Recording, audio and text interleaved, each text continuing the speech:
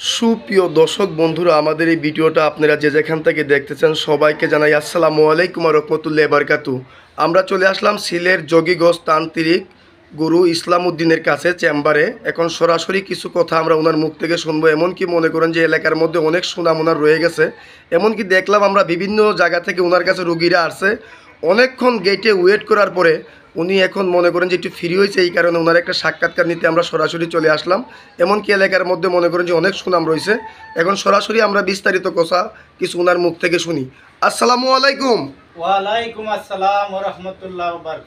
জি ভালো আছেন আপনি? জি আমরা তো দেখলাম যে এলাকার মধ্যে অনেকক্ষণ আগে আসছি এলাকার মধ্যে অনেক ঘোরাফেরা করলাম আপনার দেখলাম এলাকার মধ্যে অনেক সুনাম আছে আপনি অনেক মানুষের কাজ করছেন এমনকি আসার পরে দেখলাম অনেক দূর দূরান্ত থেকে গাড়ি, মোটর মেরে মনে করেন যে অনেক রুগীরা আপনার কাছে চেম্বারে আসছে। অনেকক্ষণ ওয়েট করার পরে এখন আপনি একটু ফ্রি হয়েছেন, আপনার একটা সাক্ষাৎকার নিতে অনেক দূর থেকে আমরা চলে আসলাম। এখন যে দেখতেছি, আপনি যে অলরেডি অনেক জিনিসপত্র নিয়ে বসে আছেন, অনেক কিছুই দেখতেছি, অনেক কিতাব, অনেক কিছু দেখতেছি আপনার কাছে। আপনি কি অলরেডি কোনো কাজে আছেন নাকি? জি, আলহামদুলিল্লাহ, আমি একটা কাজ নিয়ে বসা আছি। বর্তমানে একটি ছেলের প্রতি একটি মেয়েকে বাধ্য করে দিতে হয়। এটা প্রবাসের একটা কাজ। এই কাজটা আমি করার জন্য প্রস্তুতি নিছি।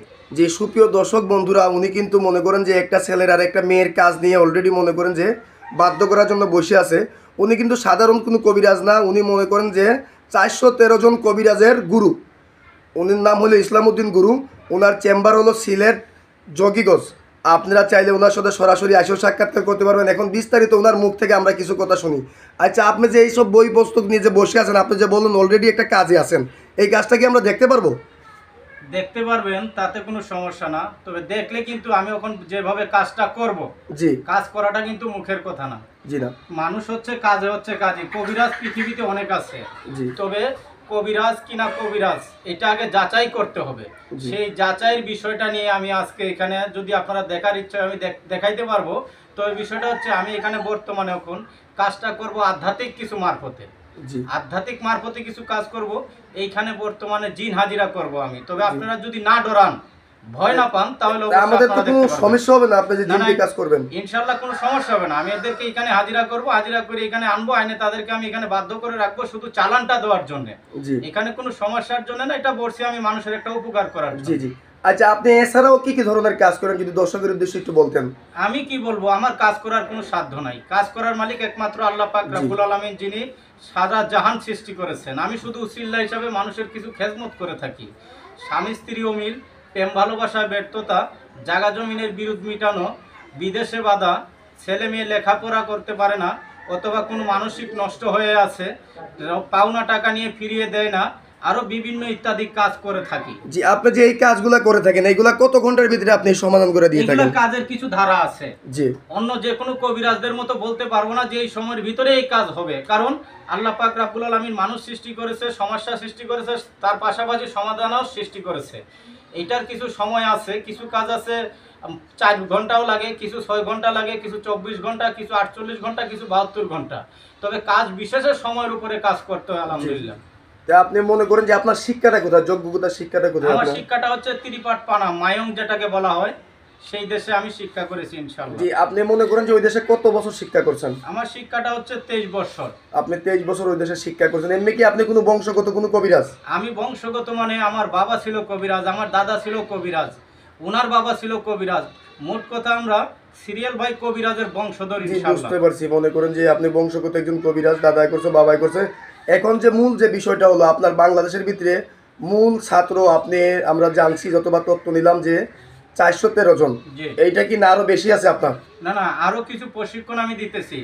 এই বিষয়ে আমি একটা স্কুল খোলার সিদ্ধান্ত নিছি এটা আমি একটা স্কুল খুলবো। যোগীগঞ্জ থানাতে স্কুল খুলে আমি এখানে প্রশিক্ষণ দেবো। তবে তার ভিতরে আমার কিছু কথা আছে। তবে আপনারা এগুলো আমার কথাগুলো বুঝতে হবে শুনতে হবে। যেমন আমি যে কাজগুলো করে থাকি কিছু আছে তান্ত্রিক কবিরাজ আমার এই ভিডিও এইটা না আর অনেকগুলা ভিডিও দেখা যায় তারা নকল করে ভিডিওর উপরে নাম্বার বসায় অনেক মানুষের ফোন দেয় পরে তাদের কাছ থেকে সেবা নেয় কিন্তু কাজ হয় না। কাজ না হওয়াতে তিনি দেয় আমার কাছে নাম্বারে ফোন ফোন আসলে শোনা যায় যে তাদের কাছ থেকে টাকা পয়সা খাইছে ঠকাইছে কিন্তু কোনো কাজে লাগে নাই। এটা আমার খুব দুঃখ লাগে কষ্ট লাগে এত পরিশ্রম কষ্ট করে কাজগুলো শিখেছি। কেউ যদি আমার নাম বেছে টাকা কামাই করে খাই যায় আর আমার এখানে অসম্মান হয় তাহলে এখানে আমার অবশ্যই একটু কষ্ট লাগে। তবে এই কারণে আমি বলে দিচ্ছি দর্শক শ্রোতাকে যে আপনারা যদি কাজ করানোর খেয়াল থাকে ফেস টু ফেস ভিডিও কলে আগে আমার সাথে আলাপ করবেন। ভিডিও কলে আমার সাথে আলাপ করে আমার চেহারা দেখবেন, সত্যি কি আমি কি না? অন্য কারোর সাথে ভিডিও কল ছাড়া কথা বলে টাকা পয়সা খরচ করবে না, নষ্ট করবে না, তাহলে আমি দায়ী নয় তবে আরেকটা কথা আমি মোবাইল নাম্বারটি বলে দিচ্ছি। আচ্ছা আপনার মোবাইল নাম্বারটা আপনি, আমরা একটু পড়ে নিতেছি। আপনি যে বললেন যে অলরেডি একটা কাজে আছেন এই কাজটা কি দর্শকের উদ্দেশ্যে আমরা দেখতে পারব? জি জি দেখতে পারবেন আমি একবারই বলছি তবে ভয় পাবেন না। না না আমরা ভয় পাবো না দেখেন আমার সাথে অনেক বন্ধু বান্ধব আসছে দেখি আপনার কাজটা অনেক দূর থেকে আমরা আসছি আপনার এলাকার মধ্যে অনেক সুনাম শুনে। আপনি কাজটা একটু শুরু করেন আমরা একটু দেখি আর একটু জুড়ে বলবেন কথাটা। সুপ্রিয় দর্শক বন্ধুরা ওনার একটা কাজ দেখেন উনি একটা অভিজ্ঞ একটা তান্ত্রিক। বিসমিল্লাহ রহমানুর রাহিম। ই আল্লাহ রাসুল তিনশো ষাট আউলিয়া শাহজালাল শাহপানান উস্তাদ মেরিবন সাকাতি করি, মা বাবা চরণবন্দি মেরিবন সাকাতি করি। যেই ছেলেটার জন্য, যেই মেয়েটাকে বাধ্য করার জন্য আমি উপস্থিত এখানে বসেছি, সেই ছেলেটার জন্য সেই মেয়েটার শরীরে যেন চালানটা, বানটা এই মুহূর্তে চলে যায়। অগ্নি সাধকের জিনের মারফতে যাতে মেয়েটা বাধ্য হয়ে যায় ইনশাল্লাহ দেখাবে। দেশে বিদেশে সবাই যাতে দেখতে পারে ইনশাল্লাহ মেরিবন সাকাতি করি। আল্লাহ রাসুল, আল্লাহ তুমি জানো। মেরিবন ধাইন চোরা পিরপিরে বাঠাং আসাম জয় মান্তা পাতে মদনা খান মেরিবন মেরিবন মেরিবন মেরিবন মেরিবন মেরিবন মেরিবন মেরিবন মেরিবন। আয় আয় আয় চালান চালান চালান। মেয়েটাকে বাধ্য করে দে বাধ্য করে দে ছেলের প্রতি মেয়েটাকে বাধ্য করে দে। দেখেন উনি কাজটা করে ফেলল। এই কাজটা কি অলরেডি হয়ে গেল? ইনশাল্লাহ আমি যে চালানটা মারছি চালানটা মেয়েটার শরীরের প্রতি চলে গেছে। জি আপনার এই কাজটা কত ঘণ্টার ভিতরে হয়ে যাবে? এই কাজটা বেশি একটা সময় লাগবে না। বারো থেকে তেরো ঘণ্টার ভিতরে ইনশাল্লাহ মেয়েটা ছেলে বাধ্য হয়ে যাবে। জি আপনি যে কাজটা করলেন আমরা অলরেডি দেখলাম দর্শক দেখতে পারলেন উনি যেভাবে জিনহাজি করে কাজটা করল। আসলে আমরা ভয় পেয়ে গেছিলাম। সত্যি